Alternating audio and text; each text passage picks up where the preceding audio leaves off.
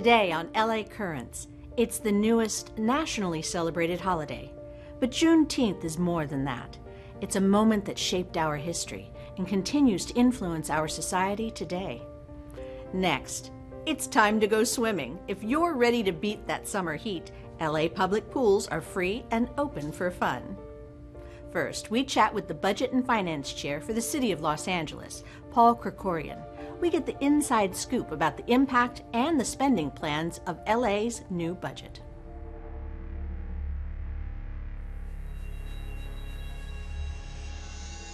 Well, what can you do with $11.2 billion? Actually, someone is here who knows exactly what we're going to be doing with $11.2 billion in the city of Los Angeles. I'm delighted to be joined by Paul Krekorian. He is the chair of the City Council and Budget and Finance Committee. So nice to have you here, and so nice to have you here uh, in better circumstances. Indeed. Last we chatted, it was rather uh, a different arena completely, because last year, uh, was truly a fire drill for the city of Los Angeles. How did we do in regards to the budget and income and everything we needed to survive? Well, this is the 10th year that I've led the budget through the City Council as Budget and Finance Chair, and I've never seen anything like this. Um, when COVID hit, um, we were in the process of preparing the budget for this year. Right. And so all of a sudden the rug was pulled out from us. All of the revenue projections that we'd counted on were um, completely wrong because the economy had collapsed, and with the collapse of the economy goes all of the city's revenues. Sales tax, temporary occupancy tax, the business tax, all of the, the things that are based on the activities of our economy just fell off the cliff. It was a desperately difficult time uh, to get through this budget year. Did we, as a city, learn to not rely on something in particular? I hope that we learned uh, that we need to be prepared for the worst, uh, and that means building up and having a strong reserve in our budget so that when difficult economic times do hit, we have that large rainy day fund, if you will, that we can fall back on without deep cuts in services. Uh, so that's the first thing. And I'm very pleased to say that in the time that I've been budget chair, we have built up the strongest reserve that the city has ever had. So when COVID hit, we uh, did have a reserve fund that we could count on, and that is what allowed us to survive the year.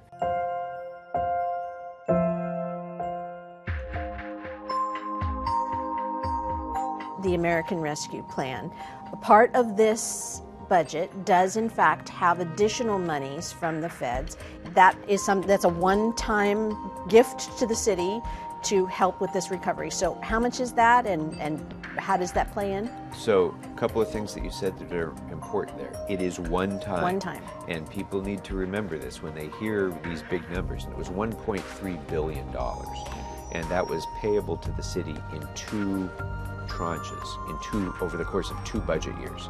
So the first half of it we got in this budget year, and that was used for revenue replacement. That was that really just got us back up to even after we had lost so much in terms of revenues. So for the year that starts July 1st, that additional 660 or so million dollars uh, will be used um, to restore our reserve, as Got I it. said, and also for significant one-time investments that are really going to be necessary to uplift neighborhoods and people who've suffered so badly during this COVID time as well.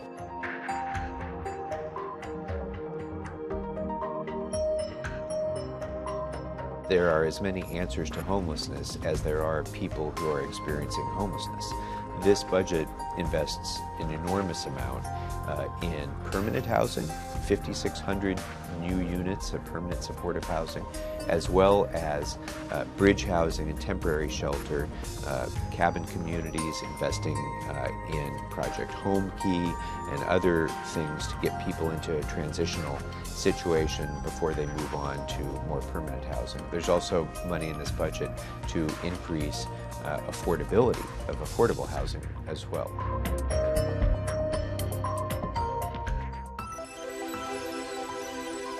You as one of your fiscal priorities. Was an amortization study regarding phasing out gas and oil drilling in the city. That sounds very optimistic.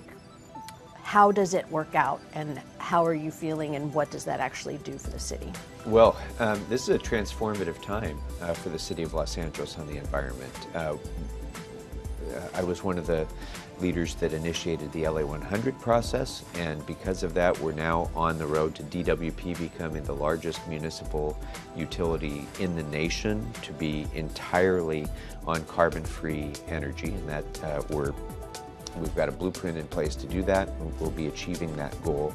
Um, in addition, we uh, are going to be phasing out all oil and gas production in the city of Los Angeles. Um, and in order to do that, we need this amortization study, which will um, determine how long the uh, producers of oil and gas have to close their existing wells down. And once they recapture their investment, then we can shut them down without imposing additional burdens on the taxpayers of Los Angeles. So that's why the amortization study is, is important. It will allow us literally to shut down oil and gas production throughout the city of Los Angeles, which was a goal that I think no one thought was really achievable even just a few years ago, uh, and now it's within reach. Um, we're also investing a lot in this budget in our urban canopy, increasing tree trimming and yeah. new tree planting. Um, we're spending money on uh, developing wildlife corridors and having personnel in planning who will be responsible for that. Um, and this budget also includes some of that one-time investment that we talked about earlier will be directed towards uh, renewable energy um, uh, generation, including uh, solar energy at uh, parks and on parking structures and, and, so forth. So we're doing a lot of investment in the infrastructure that's necessary to generate that renewable energy.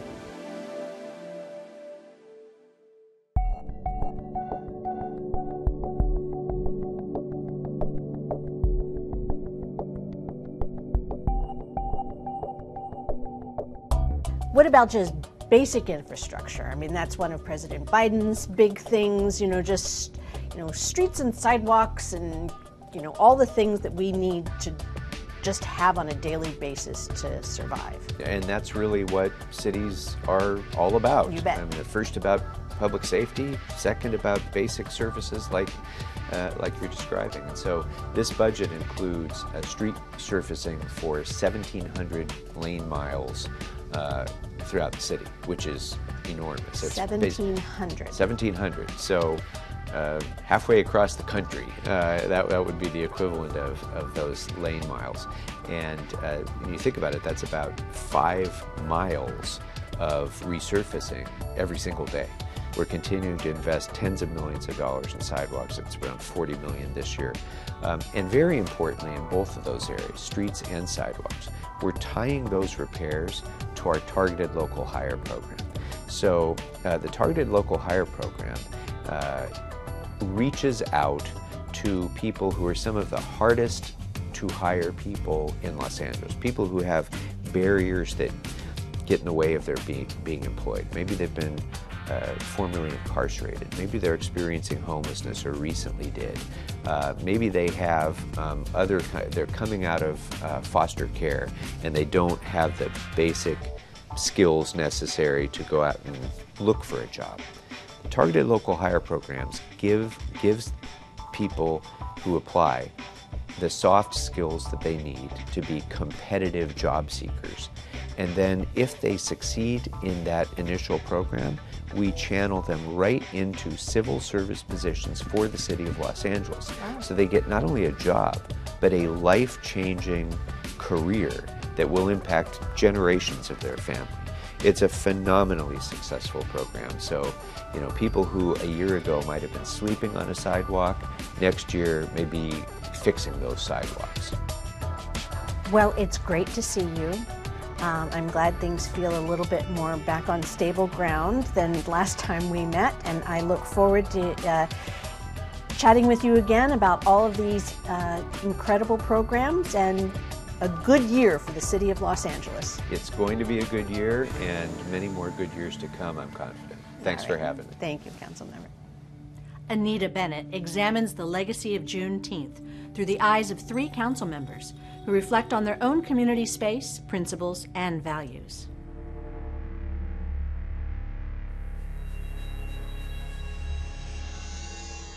Many black Americans consider June 19th or Juneteenth to be Independence Day. That's the day that the last enslaved people in this country were freed. But the celebration was bittersweet because they learned about their freedom over two years after the Emancipation Proclamation was signed. Joining us to talk about Juneteenth in the city of Los Angeles are City Councilman Curren Price, Marqueece Harris Dawson, and Mark Ridley Thomas. Thank you so much for being here. Delighted to be here. Yeah. So, Juneteenth seems to be growing in popularity in the city of Los Angeles. Why do you think that is? The unrest uh, related to uh, social justice and, and equity uh, has permeated down. And certainly there's a greater awareness now of, of Juneteenth, greater appreciation of its historical significance, and a great appreciation for the need to celebrate it. I think what you see over time is the story of black people in this city more and more becoming central to the overall uh, narrative about uh, what Los Angeles and Southern California is. The black community helped build this community, it helped make it the creative capital of the world. And so our story is one that's on the front page. Given the fact that uh, Los Angeles is one of the largest population centers for African Americans, it is very difficult to imagine uh, that there wouldn't be celebrations and many of them to pay attention to and to pay homage to the high points and the low points of the African American sojourn in the United States of America. That's what it's about, I think. And how do you communicate the importance of the day, Councilman Price? I'm happy to report that uh, activities that are going to be taking place in Leimert Park, uh, really symbolic of, uh, of the black community throughout uh, Southern California, and appreciate the moment in time that we're in uh, and the significance of it uh, moving forward. And I would go out on a limb and say it's not just about celebrating, but also raising awareness, correct? Telling that story is important uh, throughout our history, but especially now because it's always important to have reminders of where we can go. We celebrate, but effectively, people stayed in slavery two years after the time slavery had ended, after America had fought its bloodiest war, uh, where it lost more people than it's ever lost in any war. To end slavery, people stayed in slavery for two years more um, uh, because the message didn't make it there. Part of the lore is that the messenger that was sent by the federal government to Texas got killed on the way. Well, that just happened January 6th. Well, we were trying to certify an election, and so I think it's important to keep these stories front and center as a reminder for how far we can fall if we're not vigilant.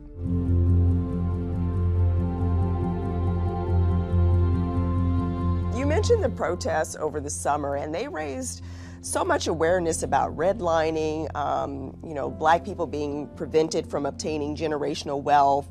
Uh, we just had the Tulsa, the anniversary of the Tulsa Race Massacre. So, um, Juneteenth, is this is it going to become even more conscious now, do you think? Well, I think it's up to us to push it to the fore. I mean, here in Southern California, we have Bruce's Beach. I mean, for all the talk about so, about Tulsa, we have it right here in our own backyard. Um, and there's more. Make no mistake about it. People have been pushing for generations and will continue to push. For those who don't know, a black family who lived in the Manhattan Beach area, they owned property, and 100 years ago that property was seized simply because they're black. What is happening with that? The idea is that folks should be made whole. Like, it's not actually very complicated. folks should be made whole and nothing short of that. It's the most forceful example of what reparations constitutes. This will not go away, and not only will it not go away, it will bring attention to similar such instances in other parts of the nation. There was uh, government complicity in the denial of their rights. What I learned is that this family was denied generational wealth, and it's happened to Oh, African Americans Yeah, right. in this nation for so long. And what that means is that this family would be extremely wealthy right now, but they're not because their property was seized. So, are we going to see more instances, hopefully, of people being made whole? So this is a place where people literally lost their their their land. But there's also the issue of redlining. All of our families, and I can say this without even knowing the histories, all of our families, when we came here, we had housing on the east side of South LA. That area was redlined. So the property appreciated at a slower rate than everything else around it. So our families walk away when it's time for me to go to college or you to buy a house or whatever. Our families have less to give mm-hmm. because of something that was imposed upon their neighborhood. And so we've got a long way to go for people to be truly made whole. I think those are those are the, the examples uh, that are more concrete and more objective, but they're much much broader than that and affect almost anybody who's African American in in our society. It's just, it's, this issue of intergenerational wealth is fundamentally important because it has contributed to the impoverishment of communities across the length and breadth of the nation. Uh, and I think this is a concrete illustration of that. Uh, but the issue of predatory lending and redlining and the like that uh, we have worked on for many years, you mentioned Leimert Park. Uh, Park was defined by restrictive covenants, and it was only after Shelley versus Kraemer uh, went to uh, the United States Supreme Court uh, that we had those racially defined areas stricken. Leimert Park. It wasn't until 1957 that the first black family moved in Leimert Park. The legacy of slavery, Juneteenth, the legacy of slavery uh, is real in our very lives, and that's the point that we cannot lose sight of. And racism, because we just marked what happened in Tulsa. Tulsa's dramatic. It was a it, it was a military action uh, by that city and its citizens and that state against those particular people in a particular place over a set number of days. But then there is the pedestrian racism, the everyday Every racism. day. Right. Every day, every t- you wake up, you go to sleep, it's always there. It's a part of your life, and you live and die with it. That's uh, what we have to get, and that affects us all. There, there isn't anybody that gets the free pass on that. Um, you know, I might not have lived in Tulsa when the bombs were dropped, but my family lived somewhere, and wherever we lived, redlining was happening, mm. predatory lending was mm-hmm. happening, mm-hmm. banking discrimination was happening, the, the denial of insurance was happening. All those things are happening on a day-to-day basis, day-to-day basis, and we've got a long way to go to correct those things. And so reparations is not just about, you know, paying for those sins, those wrongs, but really compensating for for, what happened in the past and how we can move forward with it. That's right. And that's that really is the challenge. Right. And so Right. this, this notion of reparations is, is alive, it's real, uh, and increasingly I think we're going to see uh, um levels of government taking specific actions to attempt to address the wrongs that were done. It may have implications for universal income and a whole range of things that's relevant. And uh, we know that there's leadership on the city council by uh, Councilman Curren Price on that issue. And, and both uh, Harris Dawson and I were pleased to join in helping on that. But that's a big ticket item.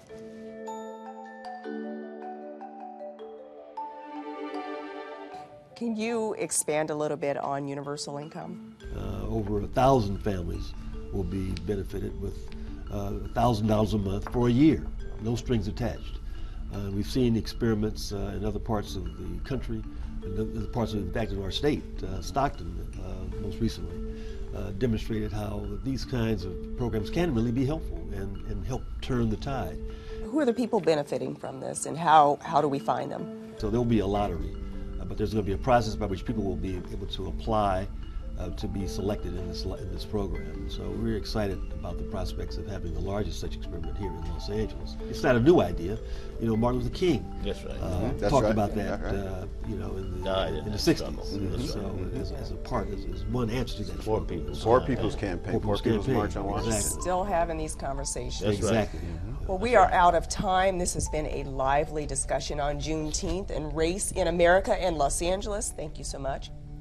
Next, we sit down with aquatic pool manager Monique Schwaneman. She offers some pretty useful tips about lessons, training, and social interaction at LA public pools.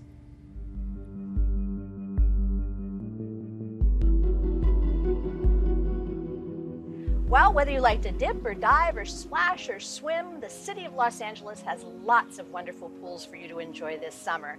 And to tell us all about it, what you can and can't do, and how you can enjoy summer in the city, I'm delighted to be joined today by Monique Schwaneman. She is the Aquatic Facilities Manager. Let's start with the very basics. How does somebody get to come to one of the community pools? Absolutely. Well, you can go ahead and find which pools are open by visiting our website at swimla.org. Once you find that out, come on in, make sure that you have a swimsuit. So it has to be the swimsuit material. And of course, um, if you need to have a full cover up for religious reasons or personal reasons, that is totally fine um, as long as it's that swimsuit material. So make sure you bring that. We don't allow flotation devices of your own. And a lifeguard's favorite rule, always walk. So please don't come running in here. we will tell you otherwise. Um, and yeah, we, we have recreational swim, lap swimming for adults, uh, lessons for kids and adults. It's a lot of fun. What are some of the first things as a lifeguard you want people to realize when it comes to being safe in the water? The first thing is communication with your party. Whoever you're swimming with, you never want to swim alone. You always want to swim with a buddy or a group and then talk to each other and don't be afraid about telling them what your limitations are. If you can only swim in the shallow end, that is totally fine. Just be open about that with the person that you're swimming with. Once you set those boundaries um, and let them know what your swimming level is, again, enter the water safely wherever you are. And it's also really important that if you're not entering the water yet, that your pool stays locked up, especially if you have a fence around it. No child should ever be left alone at a pool by themselves. Something that we do at our LA City pools is we do a swim assessment oh. um, to gauge what level they're at for our swim lessons, but we also do a swim test before anyone goes into the deep end. So someone would have to do two laps there and back of freestyle or crawl stroke. So basically, that just means that their hands are fully coming out of the water after they pull. And then once the lifeguard sees that, they are good to go and into the deep water. But if they're not ready for that yet, then they should stay in the shallow. I want to talk about the swim lessons, but I want to keep on this safety topic for just a 2nd mm-hmm. because I know when my daughter was little and we would go to whether it be a friend's house or a community pool or something, you know, you never necessarily knew who was in charge. So we came up with this thing where it may look silly, but it sure made us feel better. We would say, you know, I'm the watcher, and we would acknowledge that, and we'd trade off, but we'd say, I'm the watcher. Perfect. Yes, you're the water watcher. That is excellent. My family does that. I have a lot of cousins. So um, my aunts and uncles and my parents would trade off and do that as well. So making sure that um, you have a sober, alert adult that is watching over the kids, um, that is a great idea. And to be able to switch off, that, that's wonderful. Yeah, because you never want that idea where I thought you were watching them. No, I thought you were watching them. You know, that's a terrible thing to think about. Right. But all the opportunities that are available in this, you know, wonderful environment. It's very tempting. I'm surprised they didn't let us actually do this in the water today.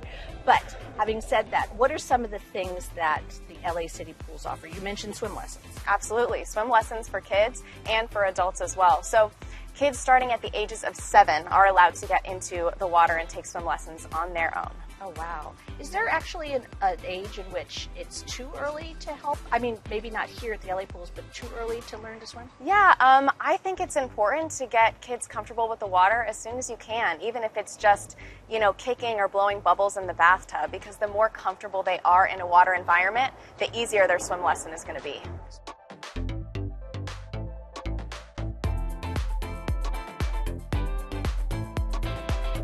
So, what about adult? What about some of the adult opportunities that are available at the LA City Pools? Right, so we do have lap swimming and then we also have lessons for adults. We have beginners, we have intermediates, and then we have other fun classes like aquasize, which are our aqua aerobics classes. And when it comes to the benefits of swimming, you know, you're a lifelong swimmer. I mean, you started swimming when you were what? I was actually in high school. I've loved the water since I was born, but I'm officially training in high school actually. Okay. So what are the what are the benefits of, you know, besides the fact it's beautiful, it's fun, what are some of the health things you can think about? There are so many benefits for swimming. Um, you're not going to have those, you know, negative effects on your joints that maybe you might feel on your knees with running or with um, things like push-ups or anything like that. Working out is, is great all around, but the pool is therapeutic. You could do it at any level. Um, you can get a good workout in, and it's, it's good for people of all ages and people of all abilities as well. What are some kind of games that you can play in the water that allow you know a family to enjoy the pool uh, or you know get some exercise without even calling it exercise. What are some of the fun things that would really enhance someone's experience at the pool? Um, well, a favorite of our swim team members and our classes is sharks and minnows. So I love it already. yes. So basically, you could, depending on how big your party is, you can have one shark, you could have two sharks. Basically, it's tag in the water. Okay. So um, they're gonna go. You're gonna try and start on one side and get to the other side without somebody, without getting tagged by the shark. If you get tagged by the shark, then you are now the shark, and there are more sharks and minnows until you only have one minnow left, which is the winner. a very brave little minnow to yes. see with all those sharks. And what about, do we still do Marco Polo? Is that still a, a thing? Do Marco, kids even know that anymore? I know Marco Polo. Okay. Um, I definitely hear about it. It's only tricky in a public pool because your eyes are closed and you might run into people, and some people might not like that as much. But it's definitely still a game that's fun and that we and that we see a lot.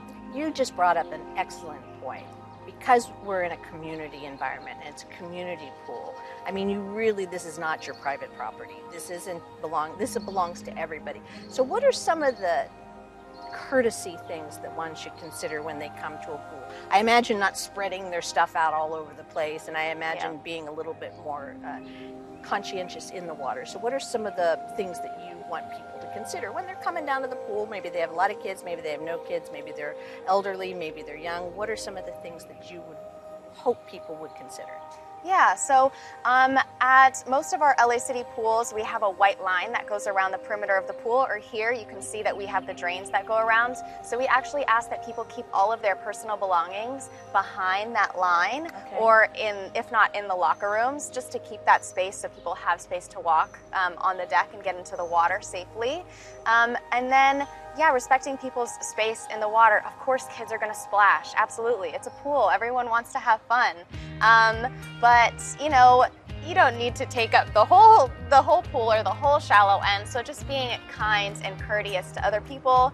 You may bump into someone, of course, but just be nice about it and just, you know, we're all here to have a good time. Are some pools have areas sort of separated, designated so that, you know, little guys can't pass this line all, of buoys and that kind of thing? Absolutely, all of our pools do. So all of our pools will have a safety line when we're open to the public that differentiates the shallow water from the semi-deep and then the deep water. We're sitting in the sun here. Yes. Um, but people should also be conscientious when they're coming to a pool to think about skin safety. Absolutely. We see so many times where kids are so excited and they slap on that sunscreen and they jump right in that water and it immediately comes off, right? So it's really important that you apply sunscreen, that you apply it well before you get in the water, maybe uh, 15 minutes before you get in the water, is safe rule. Um, and then if you get out of the water um, for a period of time, we'll go ahead and reapply, dry off, reapply before you get back in the water. And are we still worried about when we eat and get in the water? Well, there is no food or drink allowed on our decks. There you go. So it's not really a problem. Go ahead and eat outside, let your stomach settle, and then um, you're free to come in. Okay, so that's a good point. What can you bring and what shouldn't you bring? No you, food. No food. Um, you can bring water, nothing glass. So you can't have like a glass container of water. It has to be in a plastic container. Um, a, a, towel. Uh, we don't provide towels, so you do bring your own. Sunscreen, definitely, and then a bathing suit. So it can't be the shorts that you were wearing all day or um, a regular t-shirt. If you want something to cover up, it has to be a rash guard. Um, just that, that standard swimsuit material. And also for women's swimsuits, they can't necessarily be the thing you may or may not see on the cover of a Sports Illustrated. Right. Again, this is a community pool, so we want to be respectful to everyone and um, wear something that you're comfortable you know, jumping in the water with or swimming in. Well, it was fun. I can't wait to see you out on the water, and hopefully we get to talk again soon. Yes, thank right. you. Thanks. And that's a wrap on this LA Current.